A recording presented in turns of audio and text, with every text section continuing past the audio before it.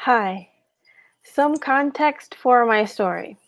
I'm a writer, a photographer, an army brat, a pastor's kid, and a big sister. I am Latina, which is not my race, but my ethnicity. It is an identifier that connects me to a whole group of people through the history of my language. I am Puerto Rican. I live on an island surrounded by big water. And like many families, I grew up in the bubble that makes us believe that we are Puerto Rican and we can be nothing else. Even if your family, like most families here, have all the colors. Mine is no exception. My dad is chocolate, mom is cream of wheat, my grandmother was caramel, her mother was a glass of milk, and abuelo negro, definitely dark chocolate. I guess that makes me a caramel mocha frappuccino. And in spite of the national pride we islanders have and the multi flavored families we enjoy, there is this saying that goes around marry light to improve the race. And it's not the only saying like that here, but that one has often come to my mind. Titi Sara, who was a sweet date, broke that rule. She married an 80% dark chocolate man and had five caramel chocolate kids. I met them for the first time when I was 17. The gate creaked as they walked up the porch with their rolling suitcases, and our chihuahuas ran to the door, jumping up and down to say hello.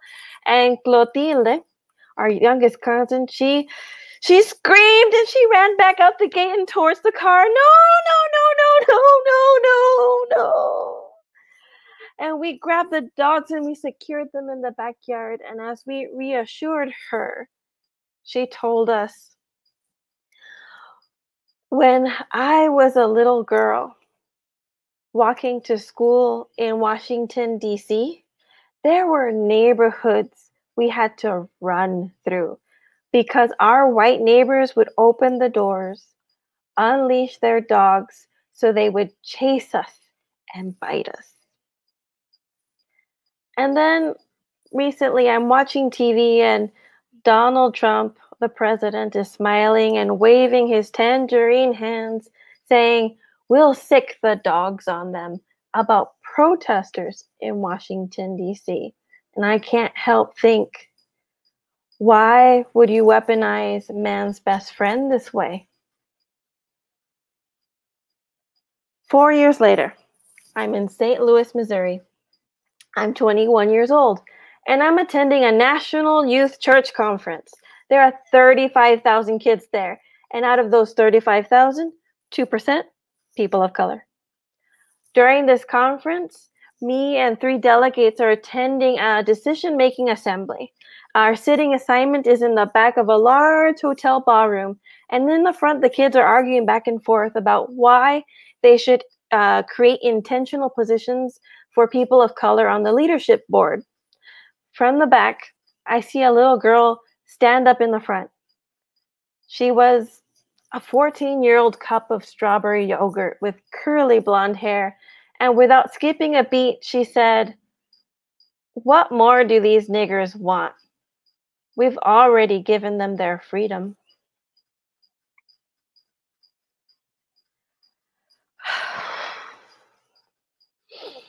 Six years later, I'm in Buenos Aires, Argentina, in South America. I'm working as an RA uh, for student housing in the dorms, and we have students from all over Argentina. In this community of about 30 people and students I'm working with, I am the only brown person. The phone rings, and there's been an incident at one of the female dorms. E was an icebox cake. Her skin was white like fluffy marshmallows. Her hair was black like Oreo cookies. But there was nothing sweet about what E had done. In a flurry of anger, she stripped down her room. She pulled things off the wall. She dumped her clothes into the suitcase, threw it down a flight of stairs to the first floor. She opened up her purse. She pulled out a condom, spit into it, put creams into it, put in all these gross things, and I don't even want to know. Tied it to the door, slammed it shut, and left. We gathered the seven remaining housemates in the living room all students, all women, all white, everyone took a turn processing out loud what had just happened. And Surai, a kind girl with wheat colored hair and soft features, she takes a deep breath and says, I can't believe E would say and do that. That was such a black thing to do. And I said, Surai, I'm black. My family is black. That is not a black thing to do. And in that moment, I became black. And if I could talk to my 27 year old self, I would say, Thank you for being brave and saying something. We aren't born knowing how to respond to situations like these. We aren't even taught about it in school. But I've learned that when we are silent, we do a disservice to those we represent. And I know Surai wasn't talking directly to me, but the saying mattered. It had a history. And I think back to all the sayings like that that I've heard growing up, pointing to light being better, but I refuse to believe that because black is not a bad thing. And the mocha in my Frappuccino is incomplete without the chocolate. These sayings become the stories that are told about people like me. And what we say and where it comes from matters because words have power and they're like spells we cast upon ourselves and others.